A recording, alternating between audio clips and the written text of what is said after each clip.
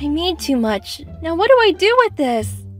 Um, Mira, my poncho is. Oh, Camilo! I have a perfect one for you. Huh? You know, I don't think it's my style. Shh, you look cute. Ta-da! What are you doing? I have a perfect one for you too, Tonito. Hmm, not bad. Okay. Aww. Aw, que lindos. Where did you get it? I made it. Do you want one? Of course. Hmm. Oh, miércoles! Look, I understand this is a tense situation, but let's watch the fucking language. Hmm. Felix!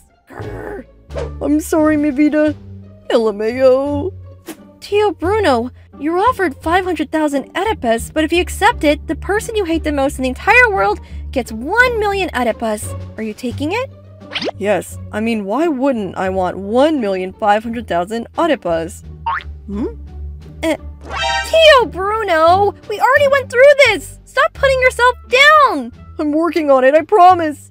You can do it.